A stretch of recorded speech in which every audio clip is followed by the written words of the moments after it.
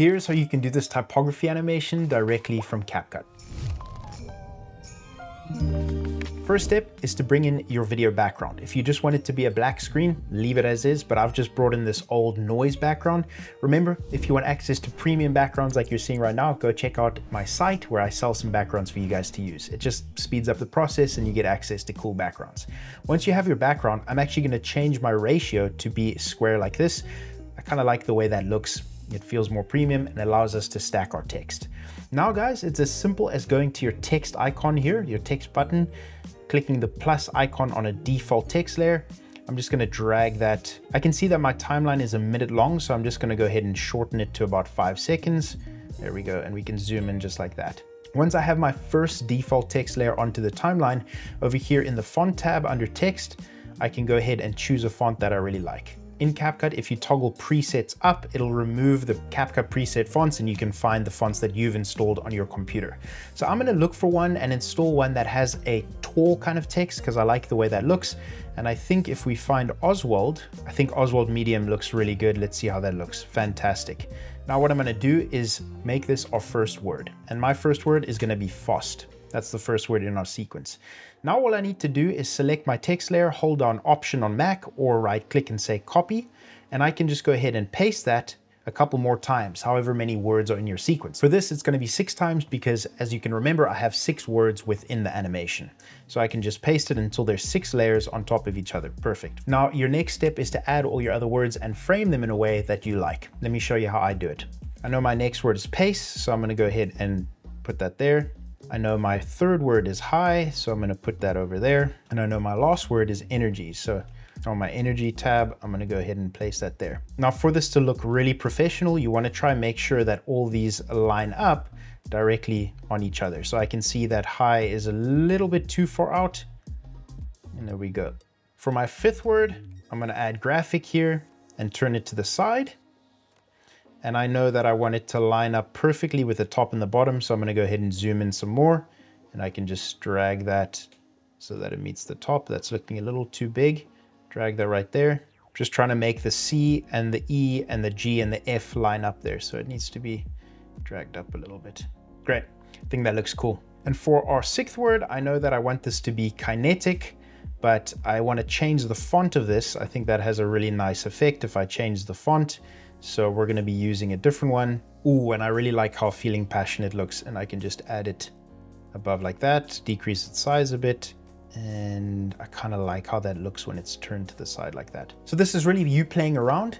The next step and part of playing around is finding the color of our text. So I obviously have done this and I know what color I like, but on graphic, I'm gonna go to color.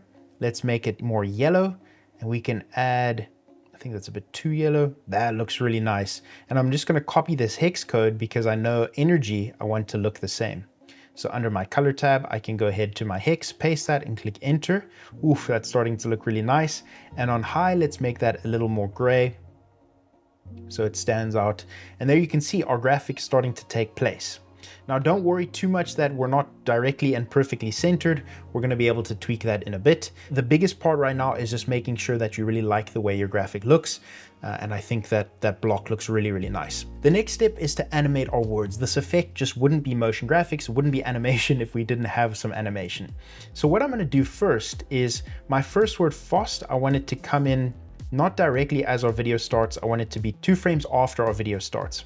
Then what I'm gonna do is make my timeline directly when FOST starts and using my arrow keys, I'm gonna toggle two frames ahead. And what I can do is highlight pace and click Q. Now go two frames ahead again, go to high and click Q.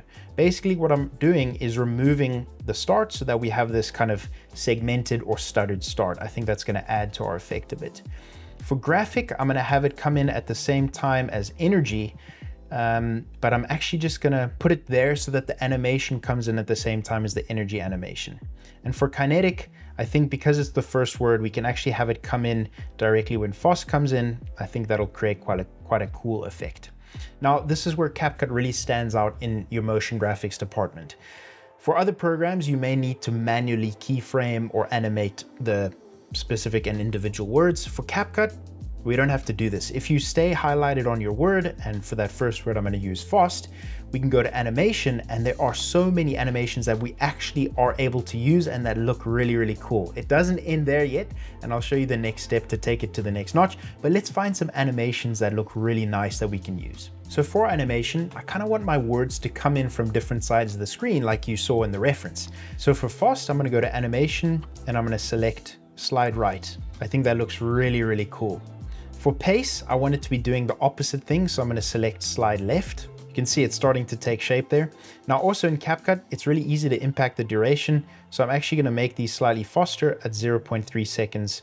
I forgot to do that on fast. Let's make that. It's just gonna help us animate a bit faster. For high, because we have fast coming in from the left and pace from the right, I want this one to come in from the bottom.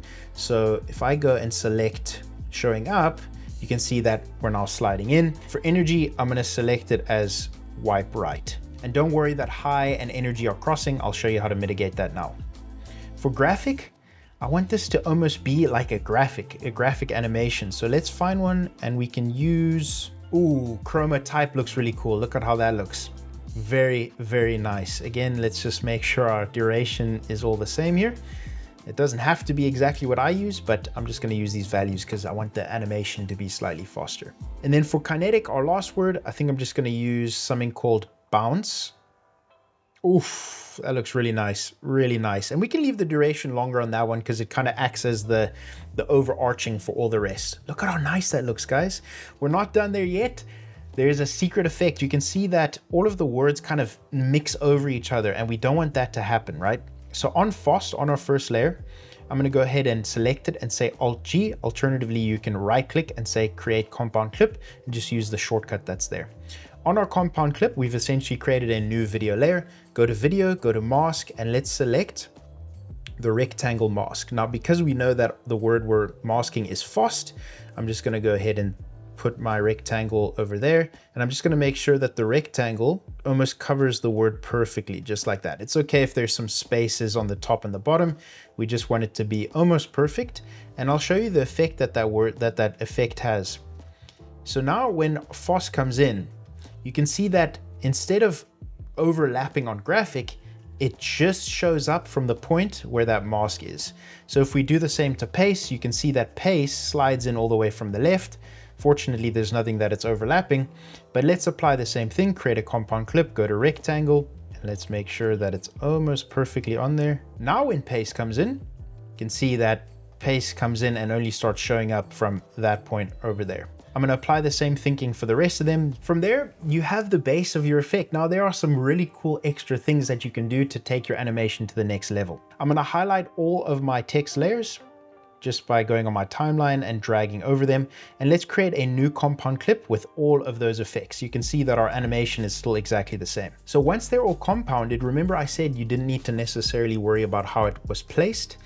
What you can do is just subtly increase the size of that. And because all of our elements are together, I can reposition that directly into the center just like that. I think I really like how that looks. Now in terms of sizing, because this is a compound clip, don't increase your size to two, 300%. You're gonna actually get a bit of quality loss on that text, so it's not gonna be as sharp as it was, but you can see we can zoom it in just a little bit and it's still perfectly sharp. Once you have that placed on your timeline, let's go to effects and let's search for something called play. On play pendulum, drag that over your whole timeline and drag it to the end of the timeline. And over here, I'm gonna decrease my twist. You can see twist kind of makes our text look weird. If you like that effect, leave it on. Decrease my strength, I'm gonna leave sharpening on about five, and then for speed, I'm gonna bring that down to 12. Now you can see that all of our text kind of moves together, and I'm actually gonna decrease my speed and my strength a little bit. I don't like how strong that effect was. I really like how that looks. It kind of creates all of our elements moving together. From there, I'm gonna go back to my compound clip, go to video, create my mask, and let's create a mirror mask. Drag your mirror mask vertically like that at 270 or 90 degrees, and I can drag that in a bit and make sure that it covers perfectly just like that. We can cut off some of graphic and some of the Y of energy. And then what I'm gonna do is just add a bit of a feather so that creates quite a cool effect on the edges of our graphic. It adds almost a gradient to graphic and the end of energy. Very, very nice. And then the last thing I'm gonna do, because there's motion as our words come in, I don't like how sharp that animation is. So CapCut is fantastic in this way, but you can go to video, scroll down on your video in basic, and we can add some motion blur.